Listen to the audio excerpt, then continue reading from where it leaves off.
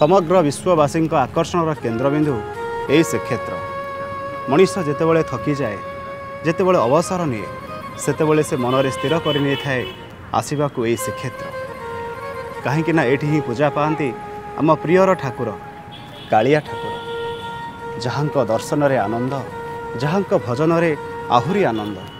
ସେ ହିଁ ତ ଏକମାତ୍ର ଅନାଥର ନାଥ ଶ୍ରୀ ଜଗନ୍ନାଥ ଏ ଜୀବନ କେବଳ ତାର ହିଁ ସାର୍ଥକ ହୁଏ।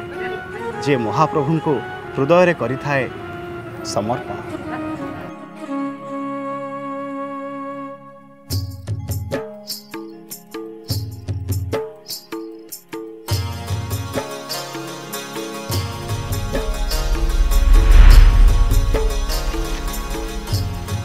ଜୟ ଜଗନ୍ନାଥ। ସମଗ୍ର ବିଶ୍ୱକୁ ଯେଉଁ ଗୋଟିଏ ଦେବତା ବାରମ୍ବାର ଆକର୍ଷିତ କରନ୍ତି ସେ ହିଁ ଶ୍ରୀ ଜଗନ୍ନାଥ। ସମସ୍ତ ଅନାଥମାନଙ୍କର ନାଥ ଶ୍ରୀ ଜଗନ୍ନାଥ। ତାଙ୍କର ଅଣୁମାତ୍ର କରୁଣା ଦୃଷ୍ଟିରେ ପଲ୍ଲବିତ ହୁଏ ସମଗ୍ର ପୃଥିବୀ। ନିଜେ ଚିତ୍ର ଭଳି ପ୍ରତୀତ ହେଉଥିବା ଶ୍ରୀ ଜଗନ୍ନାଥଙ୍କର ହାତ ଗଢ଼ାଇ ସୃଷ୍ଟିକୁ ପ୍ରକୃତରେ ସେ ହିଁ ଧାରଣ କରିଛନ୍ତି। ତେବେ ଆସନ୍ତୁ ବୁଲିଯିବା ସେମିତି ଏକ ଗାଁକୁ ଯେଉଁ ଗାଁର ପ୍ରତ୍ୟେକଟି ସନ୍ତାନ ସମର୍ପିତ ଶ୍ରୀ ଜଗନ୍ନାଥଙ୍କ ପ୍ରତି। ସେ ଗାଁର ନାଁ ରଘୁରାଜପୁର। ଆସନ୍ତୁ ବୁଲିଯିବା।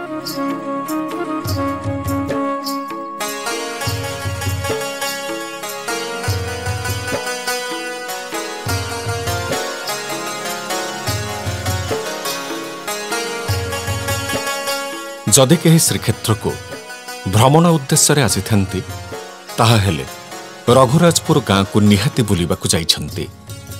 ଗାଁ ଆରମ୍ଭରୁ ମା ଭୁଆଶୁଣୀଙ୍କ ମନ୍ଦିର କାନ୍ଥରୁ ହିଁ ଏଇ ଗାଁର କଳା ନୈପୁଣ୍ୟକୁ ଅନୁଭବ କରିହୁଏ। କାହିଁ କେଉଁ କାଳୁ ସତେଅବା ଭାର୍ଗବୀ ନଈ ଗୁଣ ଗାଉଛି ଏଇ ଶିଳ୍ପ ଗାଁ ରଘୁରାଜପୁରର। ରଘୁରାଜପୁରର ପ୍ରତିଟି ମଣିଷଙ୍କୁ ସତେଅବା ମହାପ୍ରଭୁ କୃପା କରିଥିବା ଯେ କେହି ବାରମ୍ବାର ସ୍ୱୀକାର କରିବାକୁ ବାଧ୍ୟ ହୁଏ। କାହିଁକିନା ଏଇ ଗାଁର ମଣିଷଟିଏ ହାତରେ ତୁଳି ଧରିଲେ କେବଳ ମହାପ୍ରଭୁଙ୍କୁ ମନେ ପକାଏ। ଯୁଆଡ଼େ ଚାହିଁଲେ ମହାପ୍ରଭୁଙ୍କ ଦିବ୍ୟ ଲୀଳାମାନ କେବଳ ରଙ୍ଗ ତୁଳିରେ ଦୃଶ୍ୟ ହେଉଥାଏ ଏଇ ଗାଁରେ। ପ୍ରକୃତି ରାଣୀ ସତେଅବା ତାର ରୂପର ପସରା ମେଲି ଦେଇଛି ଏଇ ଗାଁରେ। କଳା ଭାସ୍କର୍ଯ୍ୟର ଏକ ଜୀବନ୍ତ ପ୍ରତିମୂର୍ତ୍ତି ସମ ଏଇ ଗାଁ। ଦୁଇ ପାଖରେ ଧାଡ଼ି ଧାଡ଼ି ହୋଇ ଘର ମଝିରେ ଭାଗବତ ଟୁଙ୍ଗି ଏଇ ଗାଁର ଗ୍ରାମ ଦେବତୀ ମା ଭୁଆଶୁଣୀ ଗାଁର ମୁଖ୍ୟ ଦେବତା ରଘୁନାଥ ଯାହାଙ୍କ ନାମାନୁସାରେ ଗାଁର ନାଁ ରଘୁରାଜପୁର। ଏଇ ଗାଁକୁ ଥରେ ବୁଲି ଆସିଲେ ଓଡ଼ିଶାର କଳା ଆଉ ସଂସ୍କୃତି ସହିତ ସତେ ଯେମିତି ସାକ୍ଷାତ ହୋଇଯାଏ।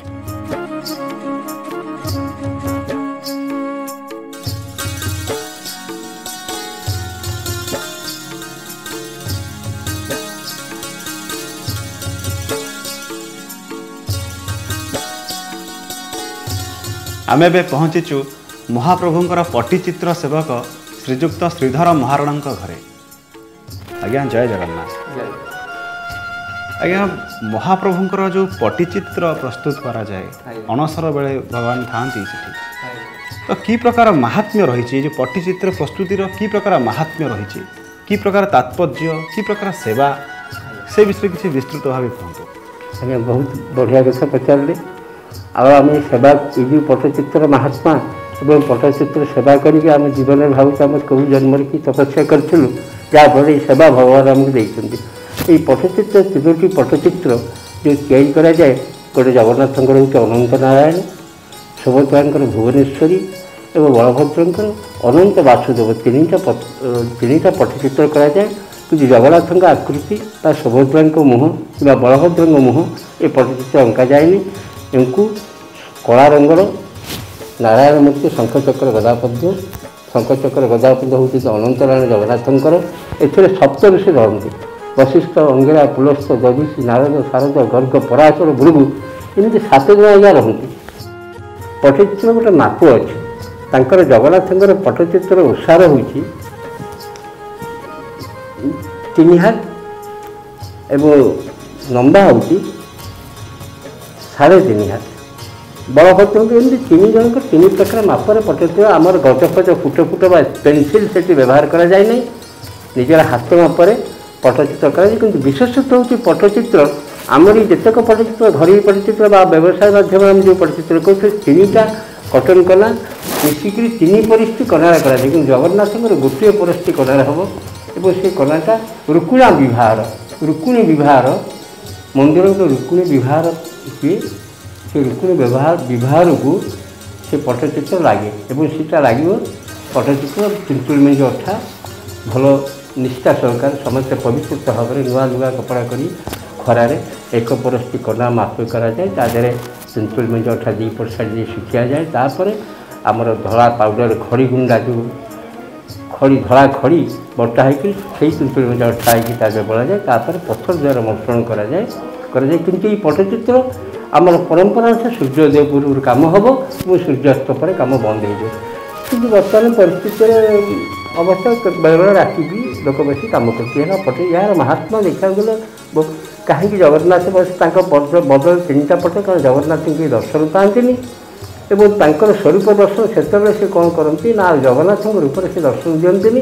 ଏବଂ ତାଙ୍କର ପୂର୍ବ ସ୍ୱରୂପରେ ସେ ଦର୍ଶନ ଦିଅନ୍ତି ଯାହାକି ଇନ୍ଦ୍ରଦ୍ୟୁମ୍ନ ମହାରାଜା ଯେଉଁ ଯଜ୍ଞ କରିଥିଲେ ଓ ଯଜ୍ଞରେ ଯେଉଁ ରୂପ ଦେଖେଇଥିଲେ ଯାହା କୁହନ୍ତି ଯଜ୍ଞନାରାୟଣ ରୂପ ମାନେ ଜଗନ୍ନାଥଙ୍କ କୋଳରେ ସଭଦ୍ରା ଉପରେ ଅନନ୍ତ ଏ ଯେଉଁ ରୂପଟା ସେଇ ତିନି ରୂପର ତିନି ଭାଗ ହେଇକି କରାଯାଏ ସେଇଟା କେତେବେଳେ ହେଇଥିଲା ଯେତେବେଳେ ଇନ୍ଦ୍ରଦ୍ୟୁମ୍ନ ମହାରାଜା ଆମର ମାର୍କଣ୍ଡ ପୋଖରୀ ହେଲା ଯଜ୍ଞଶାଳା ଯେତେବେଳେ ଯଜ୍ଞ କଲେ ଇନ୍ଦ୍ରଦ୍ୟୁମ୍ନ ମହାରାଜ ଥିଲେ ବ୍ରହ୍ମା ଥିଲେ ଏବଂ କହିଲେ ଦେଖ ମହାରାଜ ଯଜ୍ଞ ମୁଁ କରିବି ସତ କିନ୍ତୁ ଏକୋଇଶ ଦିନ ପର୍ଯ୍ୟନ୍ତ ଯଜ୍ଞ ହେବ କିନ୍ତୁ ୟାରି ଭିତରେ ଯେତେବେଳେ ଦେଖିବ ପ୍ରବଳ ଭାବରେ ନିଆଁ ଉଠି ଆକାଶ ଏକଦମ ହିଙ୍ଗୁଳମୟ ହେବ ସେଥିପାଇଁ ତୁମ ଲକ୍ଷ୍ୟ କର ଭଗବାନ ନିଶ୍ଚିନ୍ତ ତୁମ କେଉଁ ପ୍ରକାର ମୂର୍ତ୍ତି ମନ୍ଦିର ପ୍ରତିଷ୍ଠା ସେ ତୁମକୁ ଦର୍ଶନ ଦେବେ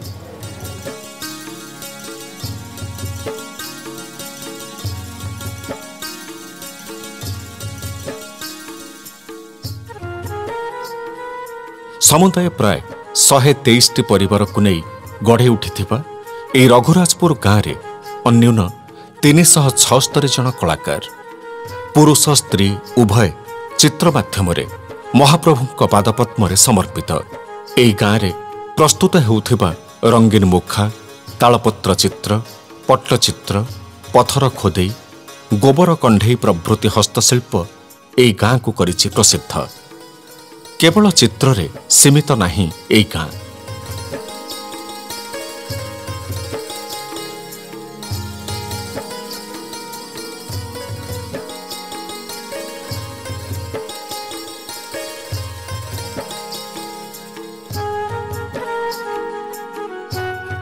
ନୃତ୍ୟ ପାଇଁ ମଧ୍ୟ ଏହି ଗାଁ ନିଜର ଏକ ସ୍ୱତନ୍ତ୍ରତା ଦାବି କରେ।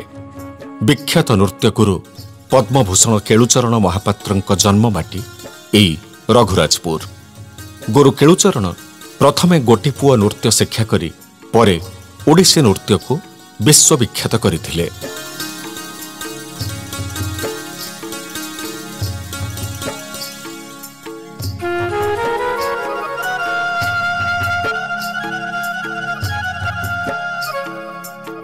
ଏବେ ଆମ ସହିତ ଅଛନ୍ତି ଗୋଟି ପୁଅ ନୃତ୍ୟର ଅଭିଜ୍ଞ ଗୁରୁ ଶ୍ରୀଯୁକ୍ତ ଗଙ୍ଗାଧର ନାୟକ ଆଜ୍ଞା ଜୟ ଜଗନ୍ନାଥ। ଆଜ୍ଞା ଗୋଟି ପୁଅ ନୃତ୍ୟ ଏଇ ଗାଁରୁ ସୃଷ୍ଟି ହେଇଛି। ମହାପ୍ରଭୁ ଆମର ଭଜନ ପ୍ରିୟ ମହାପ୍ରଭୁ ସଙ୍ଗୀତ ପ୍ରିୟ ନୃତ୍ୟ ପ୍ରିୟ ରଥାରୂଢ଼ ହେବା ପାଇଁ ମହାପ୍ରଭୁ ଗୋଟି ପୁଅ ନୃତ୍ୟକୁ ଖୋଜନ୍ତି। এই ଗୋଟି ପୁଅ ନୃତ୍ୟ ଏଠି ଯେଉଁ ସୃଷ୍ଟି ହେଇଛି କି ପ୍ରକାର ମାହାତ୍ମ୍ୟ ରହିଛି କି ପ୍ରକାର ସେବା ରହିଛି ଏଇ ଗୋଟି ପୁଅ ନୃତ୍ୟର ମହାପ୍ରଭୁଙ୍କ ପ୍ରତି ସେ ବିଷୟରେ କିଛି କୁହନ୍ତୁ। ଏଇ ଯେଉଁ ଗୋଟି ପୁଅ ଆପଣ କହୁଛନ୍ତି ଗୋଟି ପୁଅ ମାନେ ଗୋଟିଏ ପୁଅରୁ ଗୋଟି ପୁଅ ସେତେବେଳେ ମାହାରୀ ମାହାରୀର ଗୋଟେ ଅଙ୍ଗ ଇଏ। ତେଣୁ ମାହାରୀ ନୃତ୍ୟ ଯେଉଁମାନେ କରୁଥିଲେ ସେମାନେ ବାହାରକୁ ଯାଇପାରୁନଥିଲେ। ତେଣୁ ଏଇ ଯେଉଁ ଗୋଟି ପୁଅମାନେ ଆପଣଙ୍କର ଜଗନ୍ନାଥଙ୍କ ସେବାରେ ରଥଯାତ୍ରା ହେଉ ବାହୁଡ଼ା ଯାତ୍ରା ହେଉ ଜଗନ୍ନାଥଙ୍କର ଚନ୍ଦନ ହେଉ ଝୁଲଣ ହେଉ ମେଳଣ ହେଉ ଯାହା ହୁଏ କିନ୍ତୁ ଗୋଟି ପୁଅ ପିଲାମାନେ ବାହାରକୁ ଯାଇ ନୃତ୍ୟ ଆରମ୍ଭ କରନ୍ତି। ତେଣୁ ଏଇ ଯେଉଁ ଆମର ସାତ ସାହି ବୟାଳିଶ ଗଳି ଅଛି ସାତ ସାହି ଆଖଡ଼ାଗରୁ ପିଲାମାନେ ଆସି ଗୋଟି ପୁଅ ନୃତ୍ୟ ଚୈତନ୍ୟ ମହାପ୍ରଭୁଙ୍କ ସମୟରେ କିଙ୍ଗ ରାମଚନ୍ଦ୍ର ରାଜା ଥିଲେ ରାମଚନ୍ଦ୍ର ଦେବ ତାଙ୍କରି ଅମଳରେ ଇଏ ଗୋଟି ପୁଅ ନୃତ୍ୟ ଆରମ୍ଭ କରାଯାଇଛି। ଇଏ ନାଁରେ ବସି ଇଏ କରିବେ ଝୁଲଣ ମେଳଣ ଆମର ରଥଯାତ୍ରା। ଆଉ ଜଗନ୍ନାଥଙ୍କ ଉଦ୍ଦେଶ୍ୟରେ ଜଗନ୍ନାଥଙ୍କର ତ ଅଙ୍ଗ କହିଲେ ଚଳେ। ତେଣୁ ଏ କେବେ ଗୋଟି ପୁଅଟା କେବେ ଲୁପ୍ତ ହେବନି ଇଏ ହେଉଛି ପାରମ୍ପରିକ ସେ ଜିନିଷ। ତେଣୁ ଯେତେ ପରମ୍ପରା ଗୀତ ସବୁ କବିଙ୍କର ଭଞ୍ଜମାନଙ୍କ ସାହିତ୍ୟମାନଙ୍କର ସବୁ ଏଇଟା କରାଯାଉଛି। ତେଣୁ ଏଇଟା ହେଉଛି ଗୋଟି ପୁଅ ନୃତ୍ୟ। ଯାହା ହଉ ଗୋଟି ପୁଅ ନୃତ୍ୟର ମହାପ୍ରଭୁଙ୍କ ପ୍ରତି ଏ ପ୍ରକାର ସେବା କଥା ଶୁଣି ଆମେ ବହୁତ ଖୁସି ହେଲୁ। ଆପଣଙ୍କୁ ବହୁତ ବହୁତ ଧନ୍ୟବାଦ ଜୟ ଜଗନ୍ନାଥ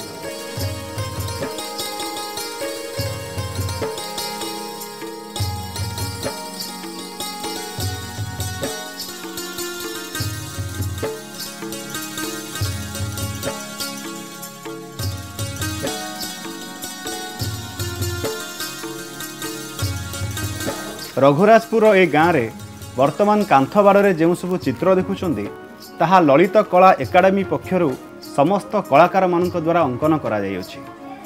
ସବୁଠୁ ମହାନ କଥାଟି ହେଲା ବିଶ୍ୱ ପ୍ରସିଦ୍ଧ ରଥଯାତ୍ରା ସମୟରେ ଏହି ଗାଁର ଯୁବକଟେ ରଥ ସାମ୍ନାରେ ଗୋଟି ପୁଅ ନୃତ୍ୟ କରେ। ଏମିତି ଲାଗେ ସତେ ଯେମିତି ତାର ଗୋଟି ପୁଅ ନୃତ୍ୟ ଦେଖି ମହାପ୍ରଭୁ ରଥାରୂଢ଼ ହୁଅନ୍ତି। ମହାପ୍ରଭୁ ଏହି ଗାଁର ପ୍ରତ୍ୟେକଟି ମଣିଷକୁ ଆହୁରି ସକଳ ମେଧା ପ୍ରଦାନ କରନ୍ତୁ। ଏହା ହିଁ ଆମର କାମନା।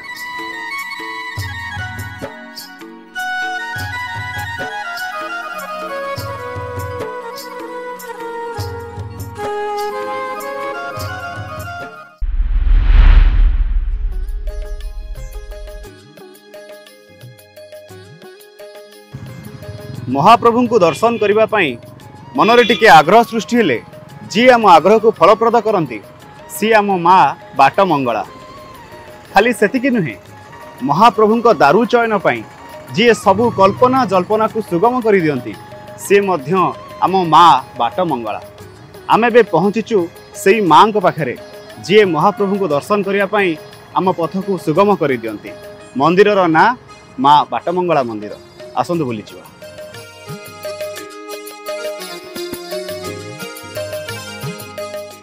ବାଟମଙ୍ଗଳା। ଶ୍ରୀକ୍ଷେତ୍ରରୁ ପ୍ରାୟ ପାଞ୍ଚ କିଲୋମିଟର ଦୂରରେ ମା ବାଟମଙ୍ଗଳା ବିରାଜିତା। ଯେଉଁ ବାଟ ଦେଇ ଅଧିକାଂଶ ଯାତ୍ରୀ ଶ୍ରୀମନ୍ଦିରକୁ ଯାତାୟାତ କରିଥାନ୍ତି ସେହି ବାଟରେ ପୂଜା ପାଉଛନ୍ତି ମା ବାଟମଙ୍ଗଳା। ପ୍ରକୃତରେ ମା ବାଟରେ ଥିବା ହେତୁ ଏମିତି ନାମକରଣର ଯଥାର୍ଥ ମନେ ହୁଏ। କଥିତ ଅଛି ବେଦପତି ବ୍ରହ୍ମା ଯେତେବେଳେ ସୃଷ୍ଟିର ସର୍ଜନା ପାଇଁ ଚୈତ୍ର ମଙ୍ଗଳବାର ଦିନ ମହାପଦ୍ମରୁ ପ୍ରକଟିତ ହେଲେ ସେତେବେଳେ ସେ ମହାଶୂନ୍ୟକୁ ଦେଖି କିଂକର୍ତ୍ତବ୍ୟ ବିମୂଢ଼ ହୋଇପଡ଼ିଲେ। ସେତେବେଳେ ମଙ୍ଗଳାତ୍ମକା ବ୍ରହ୍ମଶକ୍ତି ମା ମଙ୍ଗଳା ଆବିର୍ଭୂତା ହୋଇ ବ୍ରହ୍ମାଙ୍କୁ ଏକ ସୂକ୍ଷ୍ମାତି ସୂକ୍ଷ୍ମ ମାର୍ଗ ଦର୍ଶାଇଥିଲେ ଯାହାଫଳରେ କି ବ୍ରହ୍ମା ପଦ୍ମନାଭ ବିଷ୍ଣୁଙ୍କର ନାଭିମୂଳ ଦେଖିବାକୁ ସମର୍ଥ ହୋଇ ସୃଷ୍ଟି ସର୍ଜନା କରିପାରିଥିଲେ। ମା ମଙ୍ଗଳା ବ୍ରହ୍ମାଙ୍କୁ ବାଟ ଦେଖାଇଥିବାରୁ ତାଙ୍କ ନାମ ହେଲା ବାଟମଙ୍ଗଳା। ଅଠରଶହ ତିନିରେ ବ୍ରିଟିଶ ଶକ୍ତି ଦ୍ୱାରା ଓଡ଼ିଶା ଅଧିକୃତ ହେବା ପରେ ଯେଉଁ ଜଗନ୍ନାଥ ସଡ଼କ ତିଆରି ହେଲା ସେବେଠାରୁ ବାଟରେ ବିରାଜିଛନ୍ତି ମା ବାଟମଙ୍ଗଳା। ଶ୍ରୀକ୍ଷେତ୍ରକୁ ମାର୍ଗଦର୍ଶନ ପାଇଁ ଅର୍ଥାତ୍ ଧର୍ମ ମାର୍ଗ ପ୍ରଦର୍ଶନୀ ଭାବରେ ବାଟମଙ୍ଗଳା କଳ୍ପିତା।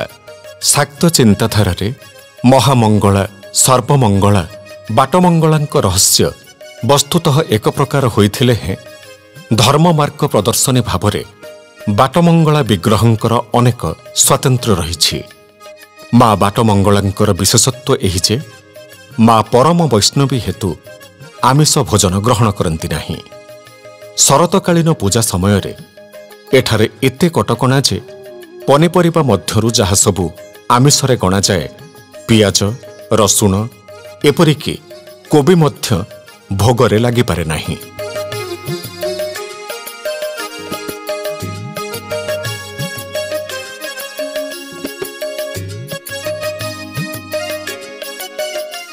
ଏବେ ଆମ ସହିତ ଅଛନ୍ତି ମା ବାଟମଙ୍ଗଳା ମନ୍ଦିରର ପଣ୍ଡା ସେବକ ଶ୍ରୀଯୁକ୍ତ ଭାସ୍କର ଚନ୍ଦ୍ର ପଣ୍ଡା। ଆଜ୍ଞା ଜୟ ଜଗନ୍ନାଥ। ଜୟ ଜଗନ୍ନାଥ। ଆଜ୍ଞା ବିଧି ରହିଛି ଏଇଆ କି ମହାପ୍ରଭୁଙ୍କୁ ଯେତେବେଳେ ସବୁ ଭକ୍ତମାନେ ଯାଆନ୍ତି ଦର୍ଶନ କରିବା ପାଇଁ ସେତେବେଳେ ଏଇ ବାଟମଙ୍ଗଳା ମନ୍ଦିର ସାମ୍ନାରେ ଅଟକି ମାଆଙ୍କୁ ପ୍ରଥମେ ପ୍ରଣାମ କରି ଯାଆନ୍ତି। ତ କି ପ୍ରକାର ମାହାତ୍ମ୍ୟ ରହିଛି ମାଆଙ୍କର ମହାପ୍ରଭୁଙ୍କ ପ୍ରତି? କାହିଁକି ଏଠି ଅଟକି ଯାଆନ୍ତି? ସେ ବିଷୟରେ କିଛି କୁହନ୍ତୁ। ମା ଯେତେବେଳେ ଦାରୁ ବ୍ର- ଦାରୁ ସନ୍ଧାନରେ ଇନ୍ଦ୍ରନ ବିଦ୍ୟାପତି ବିଶ୍ୱାବସୁ ଆସିଲେ ପୁରୀ ଆସିଲେ ଖୋଜିବାକୁ ସବୁ ଜଙ୍ଗଲ ଘନ ଜଙ୍ଗଲ ଥିଲା। ଘନ ଜଙ୍ଗଲ ଭିତରେ ଆସିବା ଭିତରେ ସେମାନେ ରାସ୍ତା କିଛି ପାଇଲେନି। ଏଠି ମା ତାଙ୍କୁ ହୁଳହୁଳି ପକେଇକିରି ସମ୍ବର୍ଦ୍ଧନା ଜଣେଇକିରି ରଖିଲେ ରାତିରେ ରହିଲେ। ତାପରେ ମାଆର ନିର୍ଦ୍ଦେଶରେ ସେଠୁ ଆଲାମଚଣ୍ଡୀ ଅଠନଳା ପାଖରେ ଆଲାମଚଣ୍ଡୀ ଅଛନ୍ତି ଆଲାମଚଣ୍ଡୀଙ୍କ ପାଖକୁ ଗଲେ। ଆଲାମଚଣ୍ଡୀ ତାଙ୍କୁ ରାମଚଣ୍ଡୀଙ୍କ ପାଖରେ ଦେଖେଇଲେ ଦାରୁର ସନ୍ଧାନ। ତେଣୁ ମା ଦେଖେଇଥିବାରୁ ତାଙ୍କ ନାଁ ବାଟମଙ୍ଗଳା ହେଲା। ତେଣୁ ମାର ଚାରି ଦିଗରେ ଚାରି ଜଣ ଜଗିକି ରହିଲେ। ଏପଟେ ରହିଲେ ବାଟମଙ୍ଗଳା ସେପଟେ ରାମଚଣ୍ଡୀ ରହିଲେ କୋଣାର୍କ ପଟେ ରାମଚଣ୍ଡୀ ବ୍ରହ୍ମଗିରି ପଟେ ରହିଲେ ହରଚଣ୍ଡୀ ଏଠି ରହିଲେ ଶ୍ମଶାନ ଚଣ୍ଡୀ ସ୍ୱର୍ଗଦ୍ୱାରେ ଜଗନ୍ନାଥଙ୍କୁ ଚାରିପଟୁ ଚାରି ଜଣ ଦେବୀ ଜଗିକି ରହିଲେ ଶକ୍ତି ଜଗିକି ରହିଲେ ତା ଦେହରେ ବାଟମଙ୍ଗଳା ମୁଖ୍ୟ ରହିଲେ ଏଠି ତାଙ୍କୁ ଦାରୁର ସନ୍ଧାନ ଦେଖେଇଥିବାରୁ ତାଙ୍କ ନାଁ ବାଟମଙ୍ଗଳା ହେଲା ଆଉ। ଯାହା ହଉ ମାଆଙ୍କର ଏ ପ୍ରକାର ଦିବ୍ୟ କଥା ଶୁଣି ଆମେ ବହୁତ ଖୁସି ଲାଗିଲା। ସେଥିପାଇଁ ଆପଣଙ୍କୁ ବହୁତ ବହୁତ ଜୟ ଧନ୍ୟବାଦ। ଜୟ ଜଗନ୍ନାଥ। ଜଗନ୍ନାଥ। ଜୟ ମା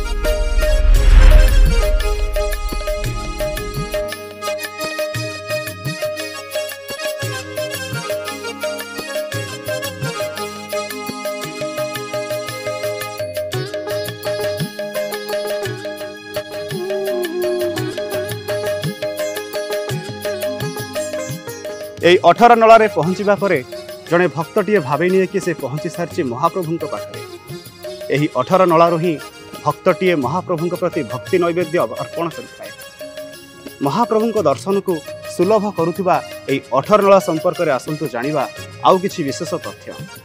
ଆସନ୍ତୁ।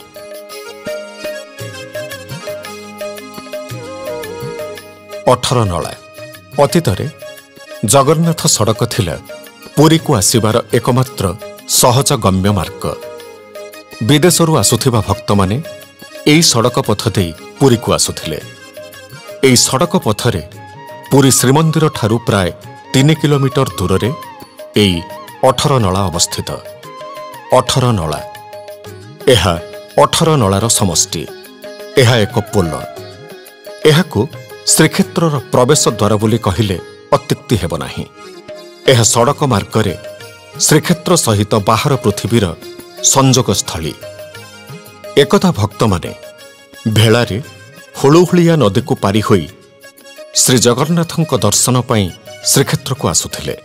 ଆଜି ଆଉ ସେହି ହୁଳୁହୁଳିଆ ନଦୀର ଢେଉ ନାହିଁ।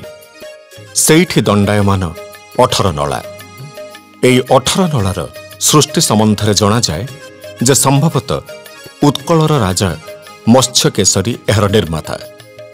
ରାଜା ମତ୍ସ୍ୟକେଶରୀ ଏହି ପୋଲ ମଧୁପୁର ନଦୀ ଯାହାର ଡାକନାମ ହୁଳୁହୁଳିଆ ଉପରେ ହିଁ ନିର୍ମାଣ କରିଥିଲେ। ଏହି ପୋଲରେ ଥିବା ଅଠରଟି ନଳାରେ ଖିଲାଣ କାମ ନ ହୋଇ ପଥର ଦ୍ୱାରା ଲହଡ଼ି ମୁଦ କରାଯାଇ ତିଆରି କରାଯାଇଥିଲା। ଓଡ଼ିଶାର ନିପୁଣ କାରିଗରମାନଙ୍କର ହସ୍ତକର୍ମ ଓ ଶିଳ୍ପକଳା ଯେ ସହସ୍ରାଧିକ ବର୍ଷ ଅତୁଟ ରହିପାରେ ଅଠର ନଳା ତାହାର ମୂର୍ତ୍ତିମନ୍ତ ନିଦର୍ଶନ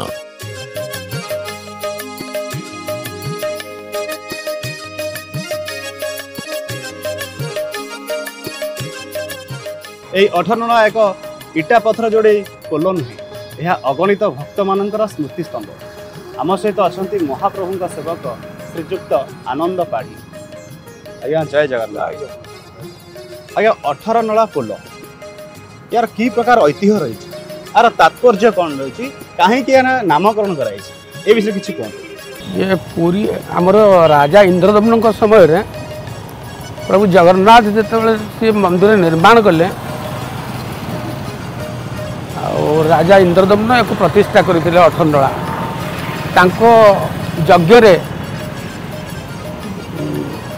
ଜଗନ୍ନାଥ ଖୁସି ହୋଇ କହିଲେ ମୁଁ ତୁମ ଉପରେ ବହୁତ ଖୁସି ଅଛି ତୁମେ କି ବର ମାଗୁଛ ମାଗ? ନା ପ୍ରଭୁ ମୋ ବଂଶରେ କେହି ରହିବେନି ମୋ ବଂଶରେ କେହି ରହିଲେ ସବୁ ଧର୍ମ ନଷ୍ଟ ହେବ ତେଣୁକରି ମତ- ମୋର ବଂଶ ନାଶ କରାଯାଉ। ତାଙ୍କର ଅଠରଟି ପୁଅ ଥିଲା। ଅଠର ପୁଅ ଏଠି ବର୍ତ୍ତମାନ ସେ ମୁଣ୍ଡ କାଟ କରିଦେଇଥିଲେ। ତେଣୁକରି ସେଇ ନାମରେ ଅଠରନଳା ନାମକରଣ କରାଗଲା। ବର୍ତ୍ତମାନ ରାଜା ଇନ୍ଦ୍ରଦମ୍ନଙ୍କ ସମୟରେ ଅଠରନଳା ଘାଟ ତିଆରି ହୋଇଥିଲା। ଶ୍ରୀମନ୍ଦିର ତିଆରି କରିଥିଲେ ପ୍ରତିଷ୍ଠା କରିଥିଲେ। ରାଜା ଇନ୍ଦ୍ରଦମ୍ନ ପୁଷ୍କରିଣୀ ମଧ୍ୟ ଖୋଳିଥିଲେ। ଅଠରଳା ଘାଟ ଇନ୍ଦ୍ରଦମ୍ନ ରାଜା କରିଥିଲେ। ବଂଶେକି ରହିଲେ କାଳେ ମୋର ସବୁ ଧର୍ମ ନଷ୍ଟ ହେବ? ରାଜା ନିଜେ ଭଗବାନଙ୍କୁ କହିଥିଲେ। ଭଗବାନ ସେଥିରେ ସନ୍ତୁଷ୍ଟ ହୋଇ ପଚାରିଲେ ତୁମେ ଏଇ ବର କି ମାଗୁଛ? ନା ନାଇଁ ହଁ ଏଇ ବର ମୋର। ମୋତେ ଦିଅନ୍ତୁ। ରାଣୀ ଗୁଣ୍ଡିଚା ସେହି ସମୟରେ ମନ ଦୁଃଖ କଲେ। ମନ ଦୁଃଖ କରି ପଚାରିଲେ ତୁମେ ଯାହା ମାଗୁଛ ମୁଁ ତାହା ଦେଇଦେବି। ତୁମେ କୁହ? ନିଜେ ଜଗନ୍ନାଥ ଭାବିଲେ କି ବୋଧେ ଅଠର ପୁଅଙ୍କର ମୁଣ୍ଡ ଫେରସ୍ତ ମାଗିବେ ବା ଜୀବଦାନ ମାଗିବେ କିନ୍ତୁ ତା ନ ମାଗି ସିଏ କ'ଣ କହିଲେ ଏଇ ଯେଉଁ ନବଦିନ ଗୁଣ୍ଡିଚା ଯାତ୍ରା ହେଉଛି ରଥଯାତ୍ରା ସେ ରଥଯାତ୍ରା ମୋ ନାମରେ ଗୁଣ୍ଡିଚା ଯାତ୍ରା କରାଯାଉ। ତେଣୁକି ଇନ୍ଦ୍ରଦମ୍ନ ସ୍ତ୍ରୀଙ୍କ ନାଁ ରାଣୀଙ୍କ ନାଁ ଗୁଣ୍ଡିଚା। ତାଙ୍କ ନାମରେ ଗୁଣ୍ଡିଚା ଯାତ୍ରା ନବଦିନ ଗୁଣ୍ଡିଚା ଯାତ୍ରା କରାଗଲା। ଏହି ଅଠରନଳା ତିଆରି ସମୟରେ ବହୁ ବିଘ୍ନ ବାଧା ଆସି ପହଞ୍ଚିଛି। ତେଣୁକରି ଯେତେବେଳେ ରାଜା ଇନ୍ଦ୍ରଦମ୍ନ ଅଠର ପୁଅର ମୁଣ୍ଡ ବଳିଦାନ ଦେଲେ ସେତିକିବେଳେ ବହୁତ କଷ୍ଟରେ ଏ ଅଠରନଳା ତିଆରି କରାଗଲା। ଇଏ ଅଠରନଳା ପ୍ରବେଶ ପଥ ଗୋଟେ ଐତିହାସିକ ପୀଠ। ବର୍ତ୍ତମାନ ପୁରୀର ମୁଖ୍ୟ ଦ୍ୱାର ମୁଖ୍ୟ ପ୍ରବେଶ ପୀଠ। ଯାହା ହଉ ଏ ଅଠରନଳା ସମ୍ପର୍କରେ ଏ ପ୍ରକାର ବିଶେଷ ତଥ୍ୟ ପାଇଁ ଆପଣଙ୍କୁ ବହୁତ ବହୁତ ଧନ୍ୟବାଦ। ଜୟ ଜୟ ଜଗନ୍ନାଥ।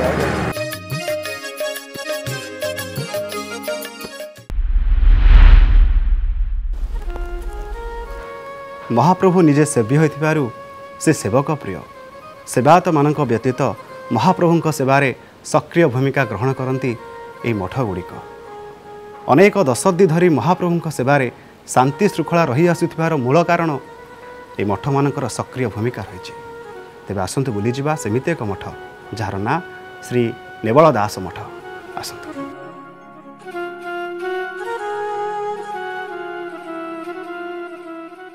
ଶ୍ରୀକ୍ଷେତ୍ରରେ ଥିବା ଦୋଳମଣ୍ଡପ ସାହିସ୍ଥିତ କରତ ଲେନ୍ରେ ଅବସ୍ଥିତ ଶ୍ରୀ ରାମାନନ୍ଦୀ ସମ୍ପ୍ରଦାୟର ଅନ୍ୟତମ ପ୍ରଭାବଶାଳୀ ମଠ ଏହି ନେବଳ ଦାସ ମଠ।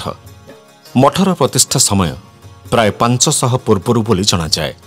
ମଠର ପ୍ରତିଷ୍ଠାତା ଆଚାର୍ଯ୍ୟ ନବଳ କିଶୋର ଦାସଙ୍କ ନାମାନୁସାରେ ମଠର ନାମ ହୋଇଛି ନେବଳ ଦାସ ମଠ। ଶ୍ରୀକ୍ଷେତ୍ରରେ ଏହି ଗୋଟିଏ ମଠ ଯେଉଁ ମଠରେ ଦୁଇ ସମ୍ପ୍ରଦାୟର ସନ୍ଥ ଓ ମହନ୍ତମାନଙ୍କର ମିଳନ ଘଟିଥାଏ। ଏହି ମଠର ପଞ୍ଚମ ମହନ୍ତ ମହାରାଜ ମନ୍ତ୍ରତନ୍ତ୍ରରେ ବିଶେଷ ସିଦ୍ଧି ଲାଭ କରିଥିଲେ। ମଠରେ ଉପାସିତ ହେଉଛନ୍ତି ଶ୍ରୀଜଗନ୍ନାଥ ରାମ ଲକ୍ଷ୍ମଣ ଓ ସୀତା। ଶ୍ରୀରାମ ନବମୀ ଚନ୍ଦନ ଉତ୍ସବ ଜ୍ୟେଷ୍ଠ ପୂର୍ଣ୍ଣିମାଠାରୁ ବ୍ୟାସ ପୂର୍ଣ୍ଣିମା ପର୍ଯ୍ୟନ୍ତ ଏହି ମଠରେ ଏକ ମାସ ବ୍ୟାପୀ ଅଖଣ୍ଡ ରାମଚରିତ ମାନସ ପାଠ ହୁଏ। ରଥଯାତ୍ରା ସମୟରେ ଶ୍ରୀଗୁଣ୍ଡିଚା ମନ୍ଦିରକୁ ଠାକୁରମାନେ ରଥରୁ ସିଂହାସନରୁ ବିଜେ କରିବା ସମୟରେ ମଠ ପକ୍ଷରୁ ପନ୍ତିଭୋଗ ହୋଇଥାଏ। ଶ୍ରୀମନ୍ଦିର ପକ୍ଷରୁ ଏହି ମଠକୁ ଗୁଣ୍ଡିଚା ମନ୍ଦିର ପରିସରରେ ଚାଳି କରିବାକୁ ଅନୁମତି ଦିଆଯାଇଥାଏ। ରଥଯାତ୍ରା ସମୟରେ ଠାକୁରମାନେ ଶ୍ରୀଗୁଣ୍ଡିଚା ମନ୍ଦିରରେ ଅବସ୍ଥାନ କରୁଥିବା ବେଳେ ନବଦିନ ବ୍ୟାପୀ ଠାକୁରମାନଙ୍କ ଶ୍ରୀମୁଖ ଦର୍ଶନ ନିମନ୍ତେ ଏହି ମଠର ମହନ୍ତଙ୍କୁ ଅନୁମତି ମିଳିବା ସହ ଗୁଣ୍ଡିଚା ମନ୍ଦିର ପାଖ ଉଦ୍ୟାନରେ ଅବସ୍ଥାନ ପାଇଁ ସମ୍ମତି ମିଳିଥାଏ। ଭାରତବର୍ଷର ଏକାଧିକ ସାଧୁ ସନ୍ଥ ଏହି ମଠରେ ସମ୍ପ୍ରତି ଅବସ୍ଥାନ କରି ମହାପ୍ରଭୁଙ୍କ ଦର୍ଶନ କରିବା ବେଶ୍ ପ୍ରଶଂସନୀୟ ମନେ ହୁଏ। ଶ୍ରୀ ରାମାନନ୍ଦୀ ସମ୍ପ୍ରଦାୟ ଅନ୍ତର୍ଭୁକ୍ତ ଏହି ନେବଳଦାସ ମଠ ଯେ ଏକ ସ୍ୱତନ୍ତ୍ର ମଠ ଏଥିରେ ଦ୍ୱୈମତ ନାହିଁ। ଏବେ ଆମ ସହିତ ଅଛନ୍ତି ଶ୍ରୀ ନେବଳ ଦାସ ମଠର ମହନ୍ତ ତଥା ଜଗନ୍ନାଥ ସଂସ୍କୃତିର ପ୍ରଚାରକ ଏବଂ ଗବେଷକ ଡକ୍ଟର ରାମଚରଣ ଦାସ ମହାରାଜଜୀ। ଆଜ୍ଞା ଜୟ ଜଗନ୍ନାଥ।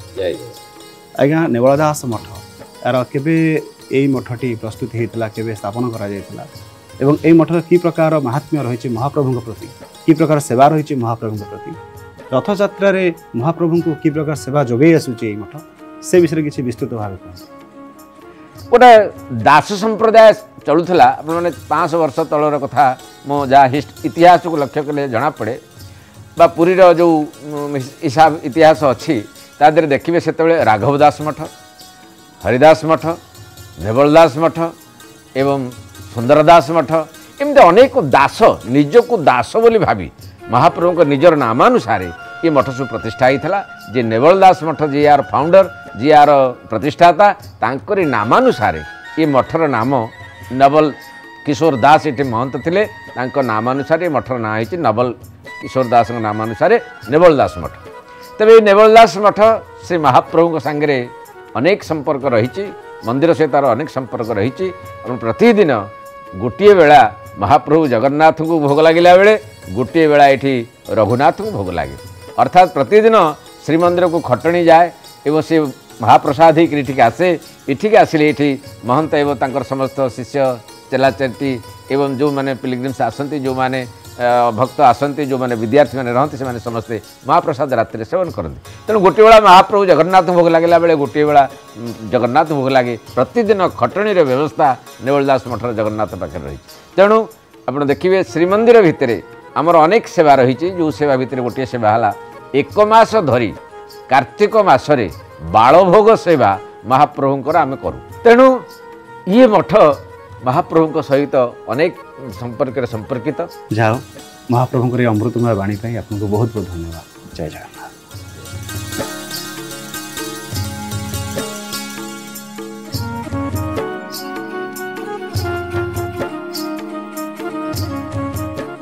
ସେ କ୍ଷେତ୍ରରେ ଆମେ ଅନେକ ସ୍ଥାନ ବୁଲି ସାରିଲେଣି।